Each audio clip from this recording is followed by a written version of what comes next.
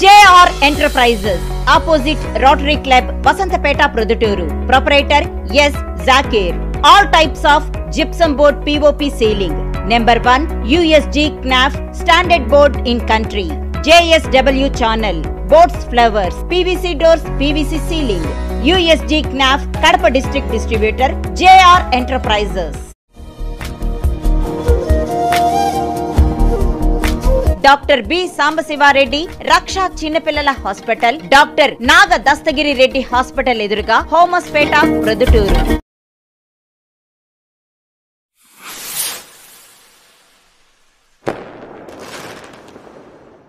రుద్రుడు పిల్లలందరికీ నమస్కారం. మొన్న రెండు రోజుల కిందట మా బిల్డప్ బాబాయ్ అలియాస్ ప్రవీణ్ టీడీపీ ఇన్ఛార్జ్ మన రాష్ట్ర స్థాయి సమీక్షా సమావేశంలో అమరావతిలో జరిగింది. అక్కడ ఆయన సార్ చంద్రబాబు నాయుడు ముందర. ఈయన మాట్లాడిన మాటల గురించి ఒక్కసారి ప్రజలకు వివరణ ఇస్తూ ఈ ప్రెస్ మీట్ కొనసాగుతుంది. ఆయన ఆయన సార్ ముందర ఆయన ఏం మాట్లాడతాడో ఆయనకు అర్థం కావడం లేదు. ఇంతవరకు ఆయనకు బిల్డప్ బాబాయ్ అని జిల్లా వరకే పరిమితమైనాడు. మన్నటి సభలో రాష్ట్ర వ్యాప్తంగా పాపులర్ అయినాడు. బిల్డప్ బాబాయ్ బిల్డప్ బాబాయ్ అని. ఆ పేరుకు సార్థకత ఏర్పరచుకుంటున్నాడు రాను రాను. మొన్న ఏం మాట్లాడతాడు ఈయన? ఉత్తర కుమార ప్రగల్భాలన్నీ పలికినాడు. ఉత్తర కుమార్ అంతా అందరికి తెలుసు భారతంలో. అత్యంత పిరికోడు కానీ బయటికి మటుకు పెద్ద ధైర్యవంతుని మాదిరి యాక్షన్ చేస్తుంటాడు. ఏంది ఉండదు లోపల మ్యాటర్. లోపల మటుకు అత్యంత పిరికోడు. ఆ విధంగా చంద్రబాబు నాయుడు ముందర ఆయన సార్ ముందర ఈయన చేసిన బిల్డప్ పర్ఫార్మెన్స్ బిల్డప్ బాబాయ్ పర్ఫార్మెన్స్ అంతా ఇంత కాదు అది ఆడిపోయిందంటే కనుక ఎట్లా పోయినాయంటే అది రాజుల దగ్గర పొగడతలు పోయేటోళ్ళు ఉంటారు. అంటే చిడతలు వాంచేటోళ్ళు. రాజు లేచి వాళ్ళకి ఎదురు పడితే వీరాది వీర సూర వాడందా విహీనంగా ఉన్నా కూడా నవ మన్మద అని పొగుడుతుంటారు. రాజులు అందవిహీనంగా కకలావికలంగా వాడు పిరికివాడైనా కూడా వీరాది వీరుడు సురాది సూర్యుడు నేను కొట్టేటోళ్ళు లేడు అని పొగుడుతుంటారు అనమాట అట్టా ఈయన చంద్రబాబు ముందర ఈయన భజన చిరుతలు వాయించే కార్యక్రమం బ్రహ్మాండంగా పెట్టినాడు. అది ఏ స్థాయిలో అంటే రాష్ట్ర ప్రజలంతా ముక్కున వేలేసుకొని ఏందిరా ఆయన మాట్లాడే మాటలు? బిల్డప్ బాబాయ్ అనే పేరు కరెక్ట్ సెట్ అయింది ఈయనకు సూట్ అయింది. ఎవరు పెట్టినారో మహాన్ బాబుడు ఈయనకు. ఈ పేరు అనే విధంగా సార్థకత ఏర్పరచుకున్నాడు ఆయన పేరుకు. సారు ఒక ఐదు సంవత్సరాలు గనక సీఎంగా కొనసాగితే అంటే ఎవరు? చంద్రబాబు నాయుడు. రెండు వేల పంతొమ్మిదిలో ఓడిపోకోకుండా రెండు వేల పంతొమ్మిది నుంచి రెండు వేల ఇరవై నాలుగు వరకు ఇట్లే సీఎంగా కొనసాగితే రాయలసీమలోనే నాలుగు మెట్రోపాలిటన్ సిటీలు సాధించేవాడు ఉక్కు పరిశ్రమ స్థాపించేవాడు అని వాగినాడు ఏమన్నా అర్థం ఉందా ఇది చెప్పేదాంతో? సారు ఐదు సంవత్సరాల ముందు పద్నాలుగు సంవత్సరాలు సీఎంగా అనేవాడు ఈయన ఈయనకు తెలియదు ఈయన మొన్న మన రాజకీయాల్లోకి వచ్చినాడు. ఈయన ఎప్పుడైతే తెలుగుదేశం పార్టీ జాయిన్ అయినాడో అప్పటి నుంచే తెలుగుదేశం పార్టీ ఆవిర్భవించినట్టు. అప్పటి నుంచే ఈయన పార్టీ కార్యక్రమాలు అంతా ఈయన తెలుగుదేశం పుట్టినప్పటి నుంచి ఈయన భుజస్కంధాల మీద తెలుగుదేశం పార్టీని మోస్తానట్టు ఈయన ఫీల్ ఫీలింగ్ అవుతున్నాడు ఎవరు మా బిల్డప్ బాబాయ్? అట్టా కళల్లో బతుకుతున్నాడు జనరల్గా రెండు వేల ఇప్పుడు ఇప్పుడు ఆయన సీఎంగా ఉండి పద్నాలుగు సంవత్సరాలు. ఎవరు? చంద్రబాబు నాయుడు. ఐదు సంవత్సరాల్లో పద్నాలుగు సంవత్సరాల్లో పెరగలేంది ఐదు సంవత్సరాల్లో ఏం పెరుగుతాడు? సరే ఈ పద్నాలుగు సంవత్సరాలు సీఎంగా ఉన్నాడు కదా రాయలసీమకు ఏం చేసినాడు మీ చంద్రబాబు నాయుడు? మీ సార్ ఏం చేసినాడు? రాయలసీమకు. సరే రాయలసీమ వదిలే. మన ప్రొద్దుటూరు వరకు వస్తాం నువ్వు ప్రొద్దుటూరు ఇన్ఛార్జ్ కాబట్టి. ఈ పద్నాలుగు సంవత్సరాలు మీ సార్ ప్రొద్దుటూరుకి ఏం చేసినాడు? దోమలు ఏమైనా నివారించగలిగినాడా? అమృత్ పథకం కింద పైప్ లైన్ ఏమైనా పూర్తి చేయగలిగినారా? కొత్తది మార్కెట్ ఏమన్నా కట్టగలిగినారా? యాభై సంవత్సరాలు పాతబడిన మార్కెట్ను. బస్ స్టాండ్ ఏమన్నా కొత్తది కట్టగలిగినారా? కాలువలు ఏమన్నా ఆధునీకరించగలిగారా? ఇవన్నీ ఏం చేసినాడు మీ సారు? పద్నాలుగు సంవత్సరాలు సీఎంగా ఉన్నప్పుడు. ఏం వెలగొట్టాడు ప్రొద్దుటూరుకు? ఇంకో విషయం. పులివెందుల్లో బస్ స్టాండ్ రాష్ట్రాన్ని ఏం అభివృద్ధి చేస్తా అని నువ్వు అంటున్నావు. ఇదే మాట బీజేపీ వాళ్ళు ఏమంటున్నారు? డెవలప్మెంట్ అంతా పులివెందుల్లోనే చేస్తాడు జగన్ రాష్ట్రంలో ఎక్కర్లేదు అంటున్నాడు. ఒక సీఎం స్థాయికి ఒక బస్ స్టాండ్ అనేది ఏ పార్టీది మీకు అందరు తెలుసు ప్రజలకు తెలుసు. సీఎం స్థాయి వ్యక్తికి బస్ స్టాండ్ అనేది ఏంది? ఇటు చిటికలు అయిపోయే పని. సంవత్సరం స్టార్ట్ అయ్యి సంవత్సరమే స్టార్ట్ అయ్యి బస్ స్టాండ్. సిక్స్టీ పర్సెంట్ అయిపోయింది. రెండు వేల ఇరవై నాలుగు ఎలక్షన్స్ ఉన్నాయి. మా బాబాయ్ ఎందుకు ముందుగా కూర్చోని నాకు అర్థం కావడం లేదు. రెండు వేల ఇరవై నాలుగు ఎలక్షన్ల టయానికి ఈ ఏమైనా పెండింగ్ ఉంటే నువ్వు మాట్లాడాలి? రెండు వేల ఇరవై నాలుగు నువ్వు మాట మార్చాలి కదా మళ్ళా? ఈరోజు ఏమన్నా? అంతా వాళ్ళ సార్ను బాఫాలో అవుతా అవుతాడు. వాళ్ళ సార్ డైలాగులు అన్ని అన్ని బట్టి కొట్టి వాళ్ళ సార్ ముందరనే అభయప్తాడు చేతులు కట్టుకొని ఇట్లా. చాలా తప్పు. మీ సార్ అంటే అవగాహన లేదు. కడప జిల్లా వాసి కాదు. నువ్వు కడపలో ఉండవు. పక్కన ప్రొద్దుటూరు పక్కనే పులివెందలు ఉంది. పులివెందలు ఏం డెవలప్ అనేది నీకు తెలుదు? ఎన్నిసార్లు బెంగళూరు పోయింటావు? మర్చిపోయినా నువ్వు ఇటు హైదరాబాద్ రోడ్డు పోతావు. బెంగళూరు పోవు ఒకసారి పో బెంగళూరు కూడా అర్థమవుతా నీకు? బెంగళూరు పోయేటప్పుడు డెవలప్మెంట్ ఏంది పులివెందులు అనేది నీకు తెలుస్తుంది. సపరేట్ ఓఎస్డి ఉన్నాడు దానికి. పాడా నిధులు ఉన్నాయి. డెవలప్మెంట్ అంతగా చేస్తున్నారు. నువ్వు కళ్ళ కళ్ళు తెరిచి చూసి అర్థమవుతా అది? నువ్వు కూడా కళ్ళు మూసుకొని మీ చంద్రబాబు నాయుడు మాదిరి మాట్లాడితేట సరే మీ చంద్రబాబు నాయుడు సీఎంగా ఉన్నాడు కుప్పంకు. కుప్పం నియోజకవర్గం నుంచి ఎన్నికైనాడు ఎమ్మెల్యేగా. సీఎంగా ఉన్నప్పుడు మీ సార్ ఎన్నిసార్లు పోయినాడో కుప్పంకు? కనుక్కో. ఈ నడమ ఎందుకో కంటిన్యూ అవుతారు అబ్బా కొడుకులు ఇద్దరు. లోకేష్ వాళ్ళ సారు. చిన్న సారు పెద్ద సారు. కలివిడిగా మీద మీద పోతున్నారు. ఎందుకు పోతున్నారు? ఏం భయం ఏమది సీఎంగా ఉన్నప్పుడు ఒక్కసారి పోయినట్టోళ్ళు ఇప్పుడు ఇప్పుడు ఎందుకు అన్నిసార్లు పోతున్నారు అనేది ప్రజలకు కూడా తెలుసు. ఎందుకంటే కనుక మన రీసెంట్ ఎలక్షన్స్లో మున్సిపాలిటీ పోయింది కుప్పం. పంచాయతీలు పోయినాయి. ఏం లేదు. ఆయన గ్రాఫ్ పూర్తిగా అమాంతంగా బాయిలో పడిపోయింది. నెక్స్ట్ ఎలక్షన్లో పోటీ చేసినా కూడా వాళ్ళ సార్ గెలుస్తాడో లేదో ఆయనకే తెలియదు ఆ భయం ఆయనలో ఉంది కాబట్టి అబ్బా కొడుకులు ఇద్దరు చిన్నసారు పెద్దసారు మార్చి మార్చిపోతాను కంటిన్యూగా. మొన్న నువ్వు తెలుసుకోవాల్సింది ఇంకోటి ఉంది కుప్పం రెవెన్యూ డివిజన్ చేసినారు. మీ చంద్రబాబు నాయుడు హయాంలో మీ చంద్రబాబు చేసుకోలేకపోయినాడు కుప్పం రెవెన్యూ డివిజన్గా మా జగన్మోహన్ రెడ్డి సారు సీఎం అయిన తర్వాత కుప్పంను రెవెన్యూ డివిజన్గా ఆయన. ఆయన అభ్యర్థన మేరకు మళ్ళీ ఆ సారే అభ్యర్థన మేరకు చేసినాడు. నువ్వు మళ్ళీ మాట్లాడతావు సీఎం సీఎం నీ నియోజకవర్గాన్ని నువ్వేం చేసుకున్నావు నువ్వు కడప జిల్లాకి ఏం చేసినావు అని చెప్పి. మీ చంద్రబాబు నాయుడు కడప జిల్లాకి ఏం చేసినాడో చెప్పు. నువ్వు ఎప్పటికైనా చర్చకు సిద్ధమంటే నేను సిద్ధమే సవాల్. డెవలప్మెంట్ గురించి. చంద్రబాబు నాయుడు హయాంలో కడప జిల్లాకి ఏం చేసినాడు? మా సీఎం గారు రాజశేఖర రెడ్డి హయాంలో ఏం జరిగింది డెవలప్మెంట్? కడప జిల్లా. ఎప్పుడైనా రెడీనే ఇదో చర్చకు. కడప జిల్లాలో ఓవరాల్గా ముప్పై లక్షల మంది ఓటర్లు ఉన్నారు కాన్స్టిట్యున్సీలో ఒక్కరితో చెప్పి ఒక్కరితో జగన్ సీఎంగా ఉండే నియోజకవర్గం పులివెంద జగన్ సార్ ఆ నియోజకవర్గంలో ఓడిపోతాడని కడప జిల్లా మొత్తంలో ఒక్క ఒక్క ప్రజలతో చెప్పిస్తే నేను ఒప్పుకుంటాను నేను. ఆడుండే మీ సీఎం సార్కు తెలుసు. జగన్ సార్ అంటే ఏంది? జగన్ పులివెందుల్లో ఎంత గట్టిదనంగా ఉంది మెజార్టీ ఏందో వస్తుందని చెప్పి. యువతల పక్క వినేటోళ్ళకు మన కడప జిల్లాకు సంబంధించిన నాయకులకు తెలుసు. ఆ రాష్ట్ర స్థాయిలో ఉండే వాళ్ళందరికీ తెలుసు మీ నాయకులకు. జగన్ సార్ను పులివెందుల్లో ఓడించి కడప విమానాశ్రయం దిగుతానే డైరెక్ట్ పులివెందులు పిలుచుకొస్తాడంట. పగటికాలలో ఎక్కువైనాయి మా బాబాయ్కి. నిద్రలో పోతే అంటే కోమాలే పోతాడు. తట్టి లేపండి ప్రెస్ వాళ్ళన్న అప్పుడప్పుడు. కొండేరి పప్ప మాటలన్నీ ఎక్కువ అయిపోయాయి మా బాబాయ్కి. నువ్వు చేసుకో భజన తప్పేం లేదు. మీ సి మీ సారు మాజీ సార్కు చేసుకో. నువ్వీరుడు సూర్యుడు అని చెప్పి. అది ఓకే. సత్యదూరం మాటలు ఆడికి అది నమ్మేటట్టునే ఉండాలి కదా ప్రజలు. జగన్ సార్ను పులివెందుల్లో ఓడిస్తా ఈ జిల్లాలో గిఫ్ట్ ఇస్తా. ఏంది ఈ మాటలన్నీ? ఈసారు ఈ సారు నెక్స్ట్ రెండు వేల ఇరవై నాలుగు ముఖ్యమంత్రి అయితే పట్టాభిషేకం కాదు అయ్యేది. నువ్వు అంటున్నావు మా సార్ రెండు వేల ఇరవై నాలుగులో ఖచ్చితంగా వస్తాడని చెప్పి. మీ సార్ రెండు వేల ఇరవై నాలుగు మీ సార్కు దహన సంస్కారాలు పడతాయి. దహన సంస్కారం అంటే వేరే విధంగా అనుకోకు నువ్వు రాజకీయంగా రాజకీయంగా దహన సంస్కారం చేస్తున్నాం. నూట నలభై ఏందో పులివెందులో బస్ స్టాండ్ కట్టినట్టు అని బస్ స్టాండ్ కాదు బస్ స్టాండ్ పక్కన రెండు ఎకరాల సైకిల్ స్టాండ్ కడతాడు.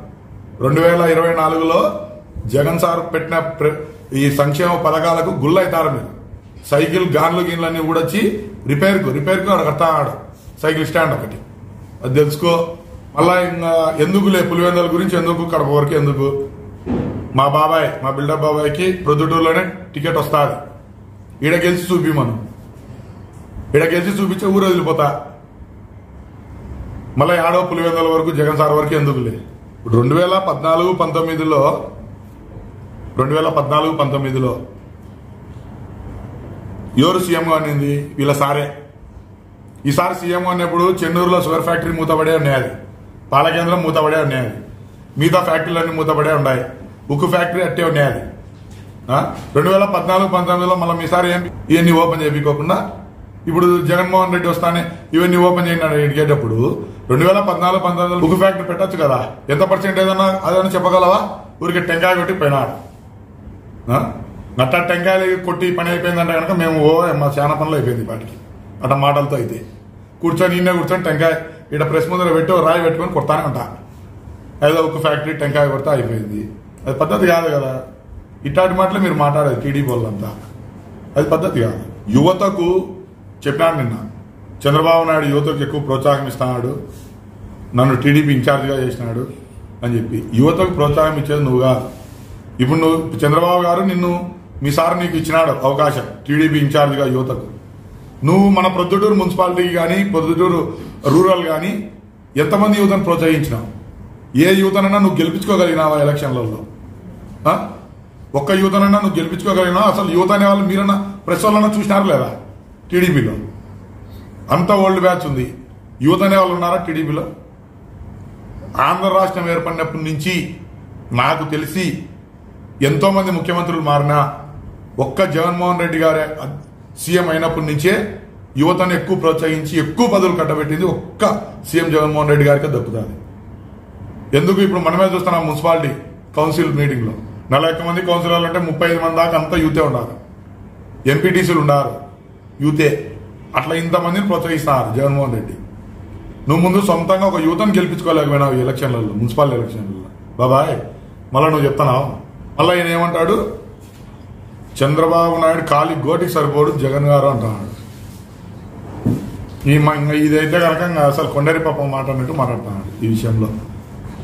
మన జగన్ సార్ ఎన్ని సీట్లు గెలిచినాడు? నూట యాభై ఒక్క సీట్లు గెలిచినాడు. చంద్రబాబు నాయుడు ఎన్ని గెలిచినాడు? ఇరవై రెండు సీట్లు గెలిచినాడు. నూట యాభై ఒక్క సీట్లు గెలిచిన జగన్ సార్ ఆడా ఇరవై రెండు సీట్లు గెలిచి చంద్రబాబు సార్ ఆడా ఆయన ఆయన భాషలో చంద్రబాబు సార్. అంటే ఎవరు ఎవరు కాలుగాడికి సమానము? మీరే అర్థం చేసుకోండి. ప్రజలకు అర్థమవుతుంది నూట యాభై ఒక్క సీట్లు గెలిచిన సీఎం సార్కు కాలి గోటిలో దుమ్ము కూడా కాదు మీ చంద్రబాబు నాయుడు. అదే రాజశేఖర రెడ్డి సార్తో పోల్చాల్సింటే రాజశేఖర రెడ్డి గారు కద్దరపంచ కడతారు. తెలుగుదనం ముట్టిపడేలా ఉంటాడు.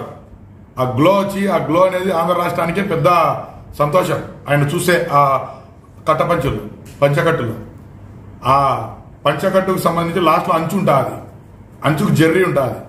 జెర్రీలో ఒక పోగు కూడా కాదు చంద్రబాబు నాయుడు. అట్టాడు రాజశేఖర రెడ్డి రక్తాన్ని కాలిగోటికి సమానం కాదంటే నూట యాభై ఒక్క సీట్లు గెలిచిన ఆయనే కాలిగోటికి సమానంగా అంటే మీ చంద్రబాబు నాయుడు ఇరవై రెండు సీట్లు గెలిచిన మీ సారు మా జగన్ సార్కి ఏంది? కాలిగోట్లో దుమ్ము కూడా కాదు. మా రాజశేఖర రెడ్డి సర్పంచ్లో పోగు కూడా కాదు. ఇట్లాంటి మాటలు నేను మాడతా ఏ పనికొచ్చే మాటలు మాడితే ఏదైనా ఉపయోగకరంగా ఉంటుంది సత్యానికి దూరంగా అన్ని అబద్ధాలు మాట్లాడితే ప్రజలు అంతా గమనిస్తుంటారు నీ పేరు కూడా అబ్బా కరెక్ట్ పెట్టినారా ఎవరో బిల్డప్ బాబాయ్ అని చెప్పి ఈయన మాటలు కోటలు దాస్తున్నాయి అనుకొని మళ్ళీ ప్రజలు కూడా మళ్ళీ ఛాన్స్ పడతారు నాకు. మళ్ళీ నీ మళ్ళీ ఎవరో ఇబ్బి అని చెప్పి. వద్దు. శాసన కల్పారు మా సీఎం గారిని దద్దమ్మ అనే మాటలు ఏం చేసుకోలేడు? ఊరికే ఆడపై పరిశీలించకుండా పులివెందుల డెవలప్మెంట్ ఏం కళ్ళు మూసుకొని చూసి ఊరికే విమర్శిస్తే మటుకు మీ సారు మీ సార్ డైలాగులన్నీ బట్టి బట్టి ఒక రెండు చంద్రబాబు నాయుడు వేరే వేరే సభల్లో నేను చూసిన. పులివెందుల్లో బస్ స్టాండ్ కట్టినట్టు రాష్ట్రాన్ని ఏమో అభివృద్ధి చేస్తాడని చెప్పి అయ్యే మాటలు నువ్వు తీసుకొని ఇక్కడ సభలో చెప్తున్నావు. నీ బాధలన్నీ ఏంది అనేది మాకు తెలుసు ఆ మాటలు ఎందుకు మాడుతున్నావు ఏమని చెప్పి.